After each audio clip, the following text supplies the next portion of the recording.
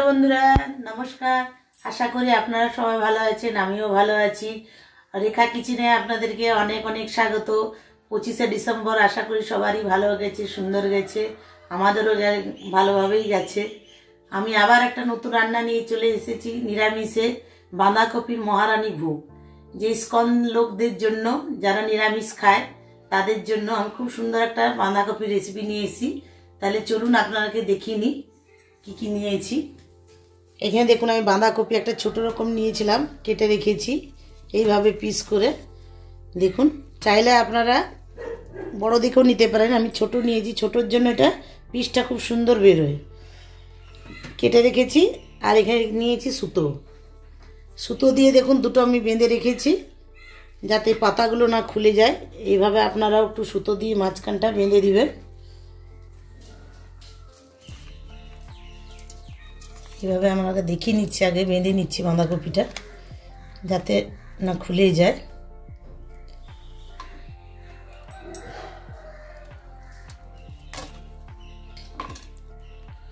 আবার একটা বেঁধে নেব এখানে আমি। এইভাবে বেঁধে নিচ্ছি।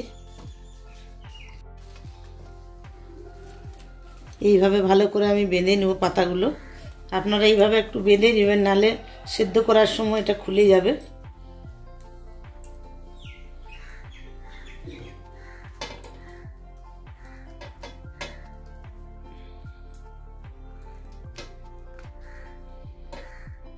বেঁধে নিলাম। আর এখানে দেখুন সব উপকরণ আছে, আপনারাকে দেখিয়ে নিচ্ছি। দিতে দিতেই দেখাবো। রান্না করতে করতে চলুন তাহলে আমি গ্যাস অন করে দিই একটা কড়াই বসিয়ে নিই। অন করে দিচ্ছি। একটা কড়াই বসিয়ে নিলাম। এর মধ্যে আমি দিয়ে দেবো কিছুটা জল, বাঁধাকপিটা ভাপানোর জন্য। জলটা দেখুন গরম হয়ে গেছে। এর মধ্যে আমি দিয়ে দেবো নুন। কিছুটা নুন দিয়ে দেবো আমি। দু চামচ নুন দিয়ে দিলাম। হাফ চামচ হলুদ গুঁড়ো দিয়ে দিলাম। জলে দিয়ে দেবো আমি কিছুটা সর্ষার তেল, কাঁচা সর্ষার তেল।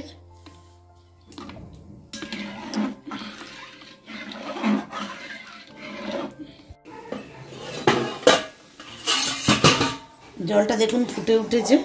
এর মধ্যে আমি দিয়ে দেবো বাঁধাকপিটা। এভাবে পিস করে গেছিলাম এটা এখানে আমি ছেড়ে দেবো। ভাপিয়ে নেব। চাইলে আপনারা ছোট ছোট পিসে করতে পারেন।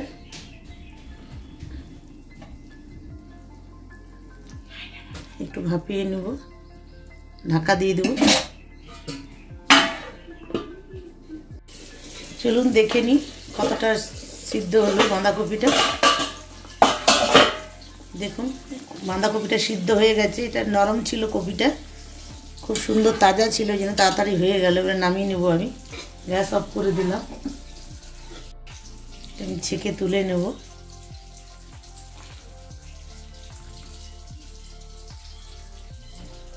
এইভাবে আমি ছেঁকে সবগুলো তুলে নেব।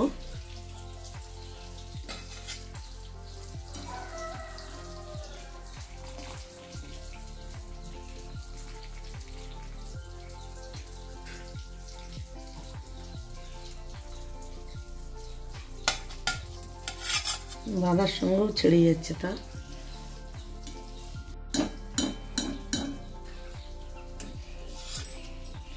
কষিয়ে নেব।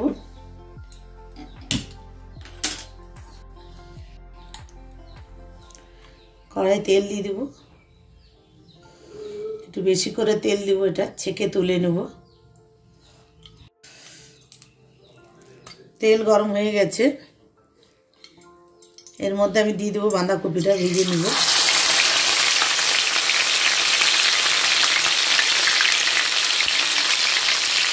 খুব নরম ছিল বাঁধাকপিটা, তাই একটু জলদি সিদ্ধ হয়ে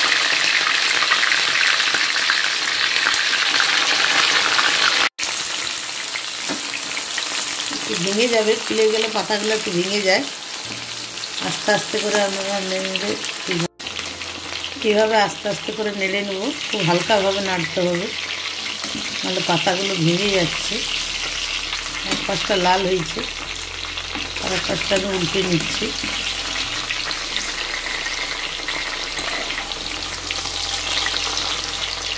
বাঁধাকপির মহারানী ভোগ তো শ্রীকৃষ্ণ রাধার এটা প্রসাদ। এইভাবে লাল লাল করে ভেজে নিয়ে ডুবু ডুবু তেলে।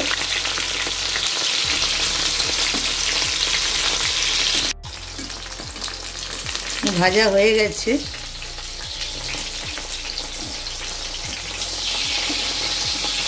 লাল লাল করে ফ্রাই করে নিয়েছি, নামিয়ে নেব। বাঁধাকপিটা খুব নরম ছিল, তার জন্য খুব সুন্দর সিদ্ধ হয়েছে আর ভালো ভালো, ভালোভাবে ভাজাও হয়েছে।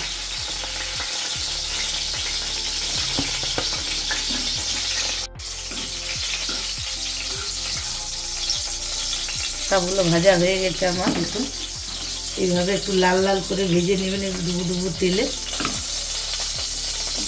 এই তেলের মধ্যে আমি দিয়ে দেবো, ফোড়ন দিয়ে দেবো শুকনা লঙ্কা, তেজপাতা, আর একটু জিরা আর একটু পাঁচ ফোড়ন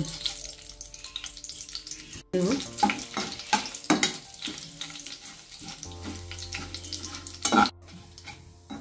লাল হয়ে গেছে, এর মধ্যে দিয়ে দেবো আমি টমেটোর কুচানো একটা রেখেছিলাম আমি।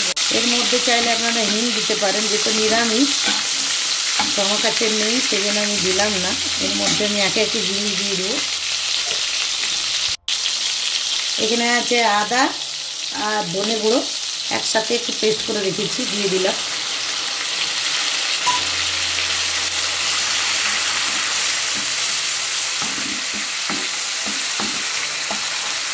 একে আমি সব দিয়ে দেবো, এর মধ্যে নুন দিয়ে দেবো আমি। স্বাদ মতো নুন দিয়ে দিলাম।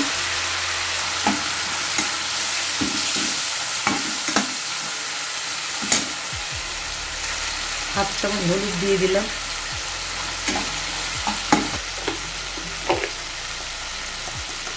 ঝাল লঙ্কার গুঁড়ো দিলাম আমি, হাফ চামচ। কালার আসার জন্য কাশ্মীরের লাল লঙ্কার গুঁড়ো দিয়ে দিলাম আমি। কিছুটা। টমেটোর পেস্ট করে রেখেছিলাম এক বাটি, ওটা দিয়ে দিলাম আমি এর মধ্যে। টমেটোটা একটু কাঁচা কাঁচা ছিল, লাল হলে ভালো হয়, আমাদের লাল দিলে একটু কালারটা আরও লাল হয়।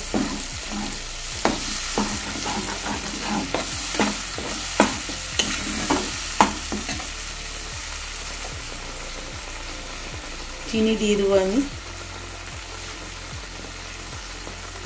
ভালো করে নেড়ে নেব। এই রান্নাটা এত সুন্দর বন্ধু, খুব খেতেও স্বাদ, খুব ভালো, খুব দারুণ। আমি খেয়েছি, খেয়ে তাই এটা রান্নাটা করে আপনাদেরকে দেখাচ্ছি। যদি ভালো লাগে নিরামিষ ভাইদের জন্য, খেয়ে যদি ভালো লাগে তাহলে আমাকে কমেন্ট করে জানাবেন, কেমন লাগল আপনাদের? আমার তো খুবই ভালো লেগেছে। এক চামচ জিরে গুঁড়ো দেবো।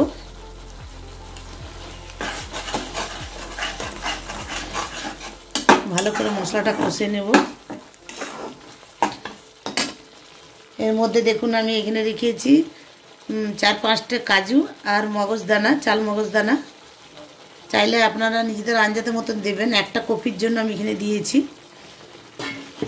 এটাতে স্বাদটা বেশি আনবে।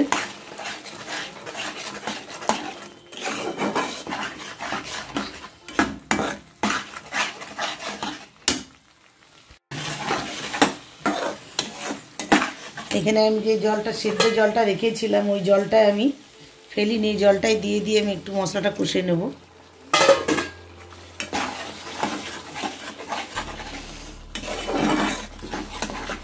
সুন্দর কালার আসছে, দেখুন। সুন্দর গন্ধও আসছে।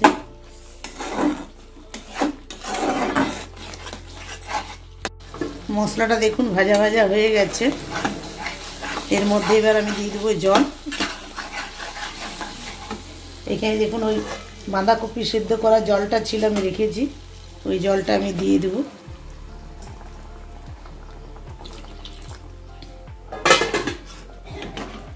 কত সুন্দর কালারও এসে গেছে। এর মধ্যে আমি এবারে বাঁধাকপি দিয়ে দেবো। ফুটে উঠলে বাঁধাকপিটা দিয়ে দেবো। ঝোলটা ফুটে উঠেছে।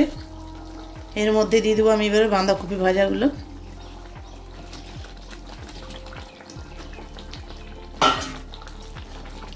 আস্তে আস্তে হালকা হালকা করে নাড়তে হবে, নাহলে ভেঙে যাবে। সুতোটা পরে যে বাঁধা আছে, পরে খাওয়ার সময় খুলে নিতে হবে। খাওয়ার সময় খুলে নিতে হবে, নাহলে এখন খুলে দিলে পুরো খুলে যাবে পাতাগুলো। পাঁচটা করে নিচ্ছি, ফুটে উঠুক। ঢাকাটা খুলে দেখিয়ে নেব দেখুন, হয়ে গেছে।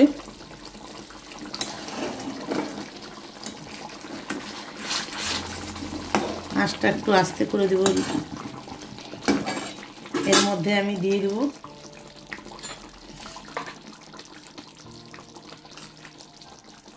পোস্ত বাটা আমি উপর থেকে দিয়ে দেবো অল্প। দেড় চামচ পোস্ত বাটা দিয়ে দিলাম। পোস্ত বাটাটা উপর থেকে দিলে খুব সুন্দর একটা খেতে খুব টেস্ট আরও বেড়ে যাবে।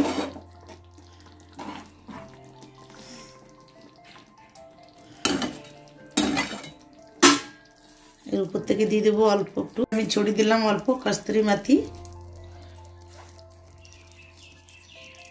আর দিয়ে দেবো এক চামচ ঘি। ব্যাস। এক চামচ ঘি উপর থেকে দিয়ে দেবো। ব্যাস, আমার রান্না হয়ে গেল। ঢাকা দিয়ে এবারে নামিয়ে নেব, সলভ করে দেখাবো আপনাদেরকে।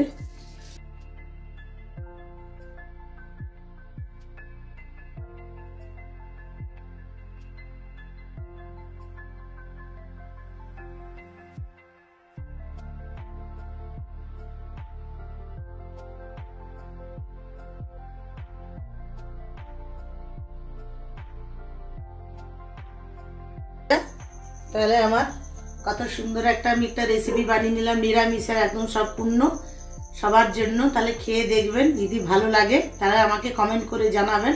সবারই ভালো লাগবে নিরামিষ তরকারিটা। শ্রীকৃষ্ণ রাধারই রান্না এটা। খুব সুন্দর আমি দেখ, খেয়েছি বলেই আমি এখানে বানিয়ে আজকে দেখালাম আপনাদেরকে। সম্পূর্ণ দেখবেন প্লিজ খেয়ে যদি ভালো লাগে তাহলে আমাকে কমেন্ট লাইক শেয়ার করবেন আর সাবস্ক্রাইব করবেন। আর সবসময় আমার পাশে থাকবেন এইভাবে। তাহলে আবার নতুন কোনো রান্না নিয়ে আবার নতুন রেসিপি আসছি। ততক্ষণ ভালো থাকবেন, সুস্থ থাকবেন। Tata bye bye